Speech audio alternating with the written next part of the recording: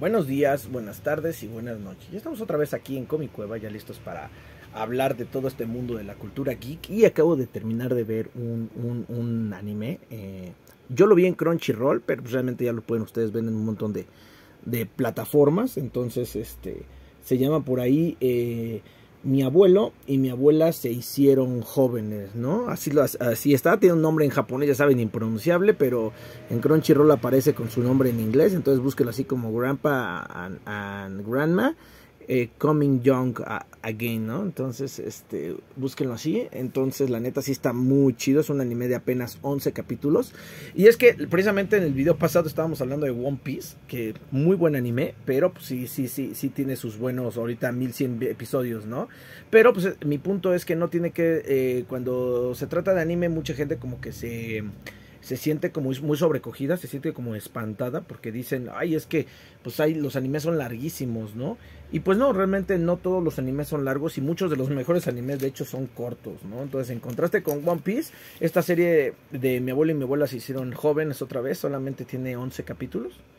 Eh, ya afortunadamente, gracias a Crunchyroll, ya están doblados en, en español latino, entonces eso es algo que se agradece porque digo, digo, no, no es cierto, están, están todavía en japonés subtitulados, ya están subtitulados, pero esperemos que sí lleguen en, español latino, porque de repente ya cumplida cierta cierto tiempo, Crunchyroll tiende a, este, a doblar las series que han tenido cierto éxito, y yo espero que esta sí sea, sea de esas. La verdad sí me la volvería a reventar en español latino, ojalá y salga en español latino, pero pues sí, sí me ha tocado verla ahorita y la verdad que sí está, sí está bastante buena, me ha dejado conmovido porque es una serie pues con una premisa muy básica, ¿no? El título lo dice todo, son dos viejitos que tienen un este japoneses muy tradicionalistas que tienen un huerto de manzanas, tienen un un, sí, un, huerto y de repente de, de, su huerto sale una manzana dorada, ¿no? Estos abuelitos deben de tener ahí algo así como unos 86 años, rondar esa edad.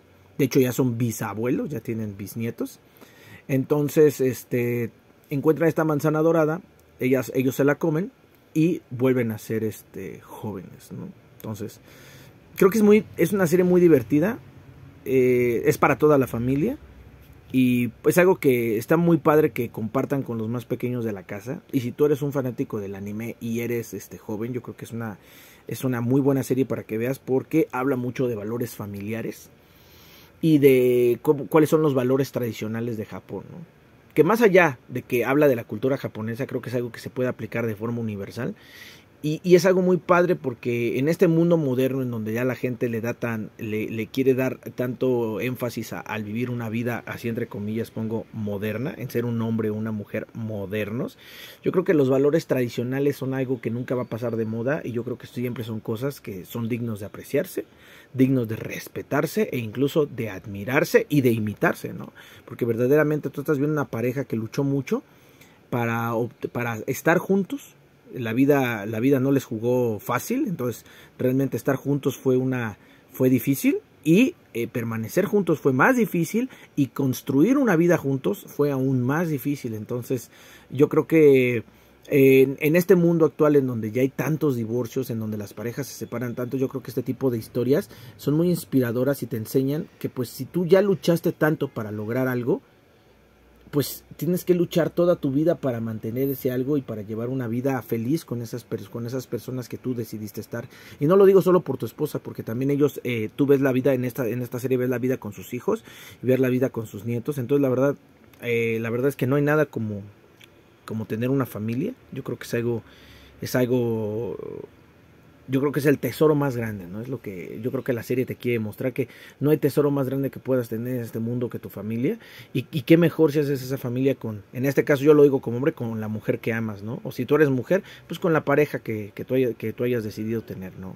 Formar una familia y pues poder este, construir ese, ese futuro ese futuro juntos. Entonces la verdad que es un anime muy bonito. Está, está muy padre, es, está de, es, es, de, corte muy familiar. Y pues la verdad es algo que me ha dejado muy buena, eh, muy buen sabor de boca, sobre todo por el final, porque generalmente ya ven que luego los japoneses cuando se hablan así de historias de amor o que son así, eh, generalmente siempre termina el último capítulo agarrados de la mano, viendo hacia el horizonte y diciendo el futuro nos espera, ¿no? Que de hecho, y aquí aprovechando que tenemos a Monkey de Luffy, no creo que el final de One Piece vaya a ser diferente.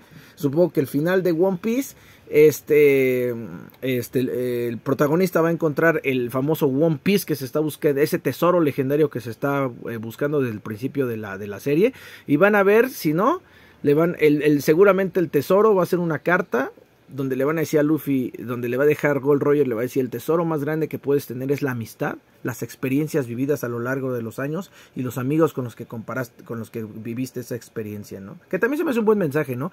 Pero lo que no me gusta es la ambigüedad que viene después porque seguramente ya lo puedo ver, que seguramente Zoro o Nami le van a decir a Luffy, ¿y qué sigue Luffy? ¿Qué vamos a hacer? Y Luffy va a decir, pues ¿qué más? Seguir navegando y teniendo más aventuras, ¿no? Y eso va a ser el último capítulo de One Piece y, los personajes de One Piece van a seguir viviendo aventuras hasta el infinito y más allá, ¿no? Así terminan la, la, gran mayoría de los animes y pues la verdad es algo un tanto decepcionante porque creo que los japoneses construyen excelentes historias pero no saben, eh, la, no saben construir finales. Y creo que esta ambigüedad ya es una cosa cultural. Pero afortunadamente hay gente que se sale del molde. Y en esta serie de mi abuela y mi abuelo se hicieron jóvenes de nuevo sí tenemos un final bastante contundente, bastante resolutivo y que si bien sí deja como una un final un tanto como que sí te deja como que un atisbo de eh, y, esta historia pudiera continuar para siempre, la verdad es que la historia es muy concreta, muy cerrada y eso a mí me encanta, ¿no? Que últimamente yo creo que ya he visto animes que se están animando por eso, por crear eh, finales más contundentes y es algo que tengo que alabar de la animación japonesa de ahora, ¿no? Como que sí están aprendiendo un tanto del pasado, ¿no? Y si bien sí es cierto que actualmente mucha gente habla acerca de de una crisis en el mundo del anime, ciertamente lo hay. Hay demasiados estudios produciendo demasiados anime y muchos de esos anime terminan siendo pura paja, puras cosas que pasan desapercibidas y que muchas veces son poco impactantes en la historia del anime y pues son historias poco relevantes. Yo creo que sí me sorprendí con esta historia porque yo he visto, no sé, ya perdí la cuenta de cuántos animes he visto y la verdad se me hace una historia bastante simple pero bastante innovadora en ese sentido de con esta excusa de la, de, la juventud eterna volverte a contar este una historia de una familia tradicional japonesa y de sus valores tradicionales y de su día a día tradicionales no entonces eh, hacen que temas que ya se han repetido mil veces en otros animes vuelvan a sentirse un tanto frescos, ¿no? Desde este nuevo, completamente nuevo punto de vista y nuevo enfoque. Entonces la verdad que no tengo nada que criticarles. Me gustó la música, me gustó la animación, me gustó la, historia, cómo se desarrolla. No tengo nada que criticar. Como todo no es perfecto. Yo creo que son... Eh, o sea, no es sobresaliente. No es ni una música que ustedes digan, uh, se me va a quedar toda la vida.